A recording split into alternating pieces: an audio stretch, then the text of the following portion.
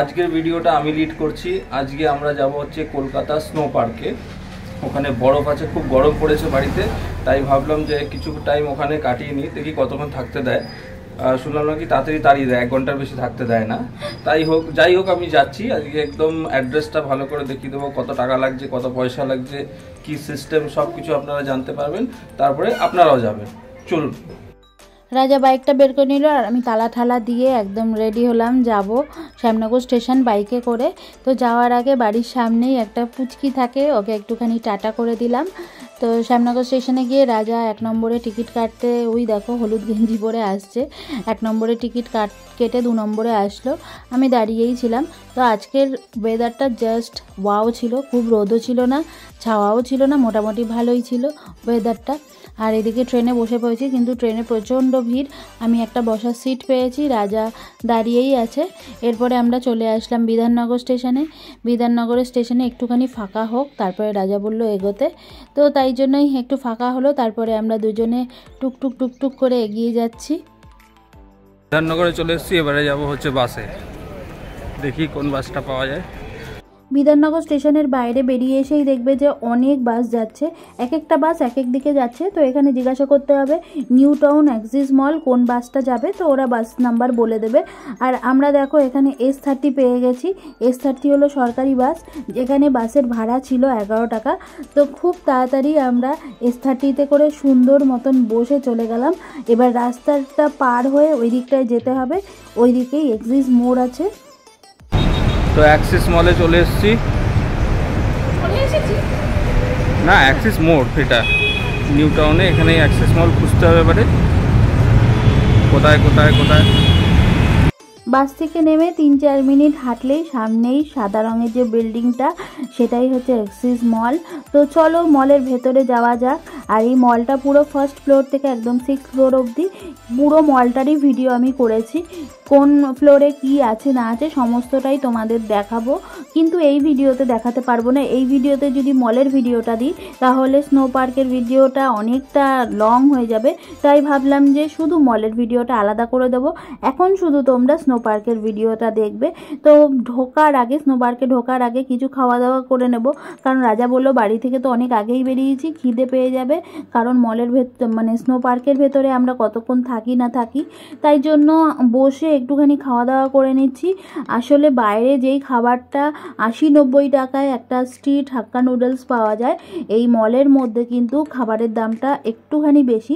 বোর্ডে লেখা ছিল নাইনটি নাইন কিন্তু ওরা ওই জিএসটি ট্যাক্স ফ্যাক্স দিয়ে ওয়ান টোয়েন্টি ফাইভ তবে খাবারটা খুব একটা খারাপ ছিল না, খুব টেস্টি ছিল, ভালোই ছিল।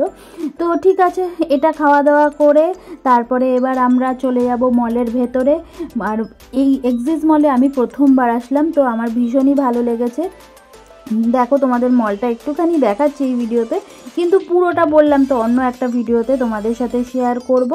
তো চলো এবার একদম সিক্স ফ্লোরে চলে যাব। সিক্স ফ্লোরে গিয়ে তারপরে টিকিট কাটতে হবে, তারপরে তো পার্কের ভেতরে ঢুকবো। আর দেখো, ওপর থেকে কলকাতা শহর দেখতে কত সুন্দর লাগছে, কত গাড়ি, কত বাড়ি। সেটাই দেখছিলাম দাঁড়িয়ে দাঁড়িয়ে, তারপরে টিকিট কাটলাম। টিকিট কেটে এরপরে চলে যাচ্ছি একদম স্নো পার্কের মধ্যে। আর টিকিটের দাম নিয়েছিল এক একজনের চারশো নিরানব্বই টাকা করে। তারপরে ভেতরে ঢুকে কি করতে হবে, না করতে হবে, সেটা তো আমি বুঝতে পারছিলাম না। তারপরে দেখলাম যে অনেকেই ওখানে লকার নিচ্ছে, তো আমরাও একশো টাকা দিয়ে একটা লকার নিলাম। কারণ যে সমস্ত জিনিসপত্র নিয়ে গেছিলাম, ওগুলো তো লকারে রাখতে হবে। তো একশো টাকাটা কিন্তু পরে আবার তোমাকে ফেরত দিয়ে দেবে ওরা। তো আমি মোজাও নিয়ে যাইনি। তারপরে একটা মোজা কিনলাম, কারণ এখানে মোজা না পড়ে গেলে প্রচণ্ডই ঠান্ডা লাগবে। তো তোমরা যদি যাও, তোমরা অবশ্যই বাড়ি থেকে মোজা ক্যারি করো।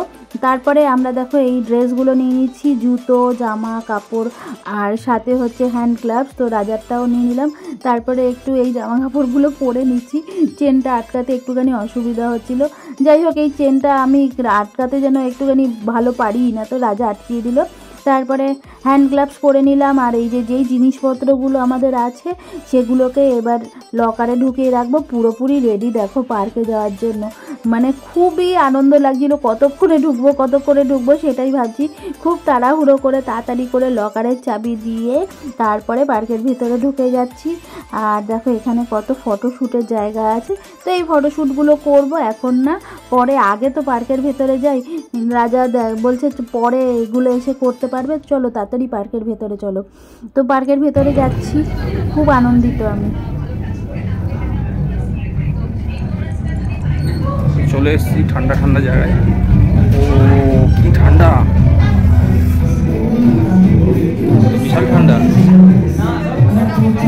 স্নো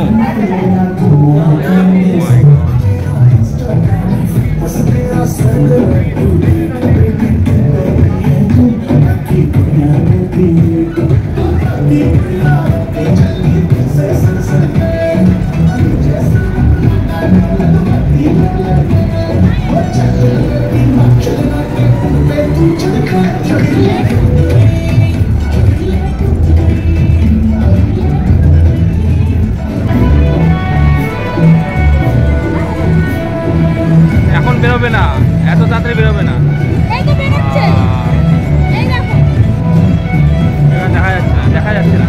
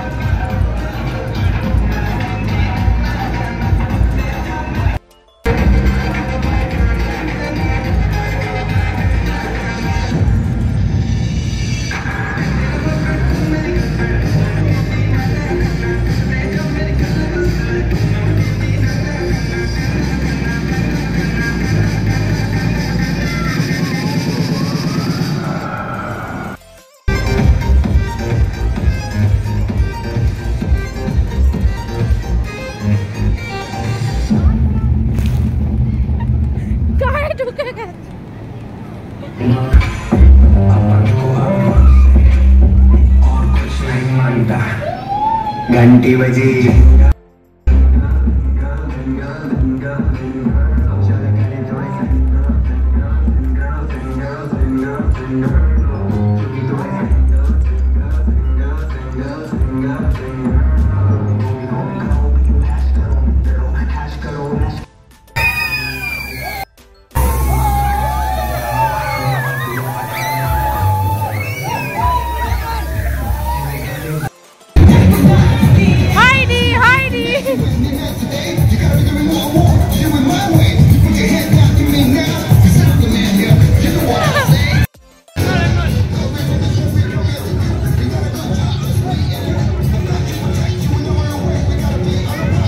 অনেকক্ষণ তো বরফ নিয়ে খেলাধুলা করলাম, এবার একটুখানি ফটোশ্যুট করা যাক।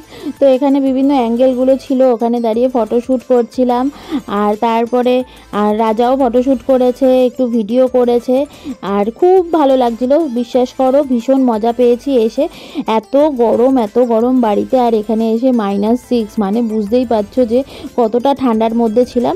তবে আমি বলব যে একদম ছোট বাচ্চাদের নিয়ে তোমরা এখানে এসো না, তাহলে মজা করতে পারবে না। এই সাত আট বছর বছরের ওপরে বাচ্চাদের নিয়ে তোমরা এসো, তারা ভীষণ মজা করবে, খুব আনন্দ পাবে এখানে এসে। তো আমরাও দেখো বাচ্চা হয়ে গেছি, বাচ্চাদের মতনই দারুণ মজা করছিলাম।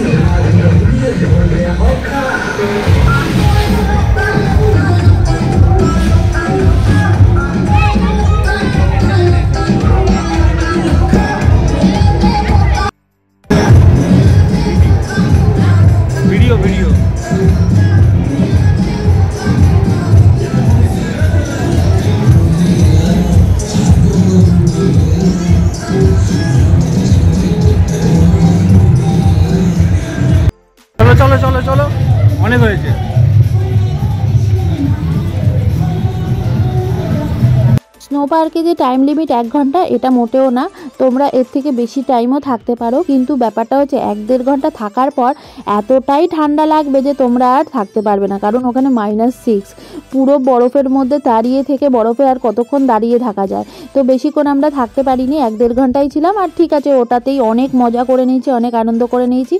এবার তো চলো, মলের ভিতরটা পুরো ঘুরতে হবে আর তোমাদের দেখ- দেখাতে হবে। তো তোমরা মলের ভিডিওটা দেখার জন্য রেডি হয়ে যাও।